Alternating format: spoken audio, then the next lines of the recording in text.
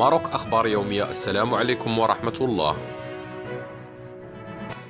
كشفت مصادر قريبة من رئيس الحكومة السابق والأمين العام السابق لل PJD عبد الإله بن كيران أنه وصف الكثير مما كتب عن حصوله على المعاش الاستثنائي بأنه شبيه بمسيرة ولد زروال جديدة في العالم الافتراضي للتشهير به وأوضحت يومية أخبار اليوم في عدد نهاية الأسبوع أن بن كيران سخر ممن قالوا إن لديه فيلتين موضحا أن السيارة التي يتوفر عليها لا تعود ملكيتها إلى الدولة بل أعطاه إياها الملك وتساءلت ذات المصادر نقلا عن رئيس الحكومة سابقا. لماذا يقتصر الحديث عن بن كيران فقط مع أن المعاش الاستثنائي حصل عليه وزراء أولون سابقون أمثال عبد الله إبراهيم وعبد الرحمن اليوسفي. وأكدت المصادر أن الملك هو من أمر بتسوية وضعية بن كيران بعد أن وصل إلى علمه أن العجلة توقفت عنده.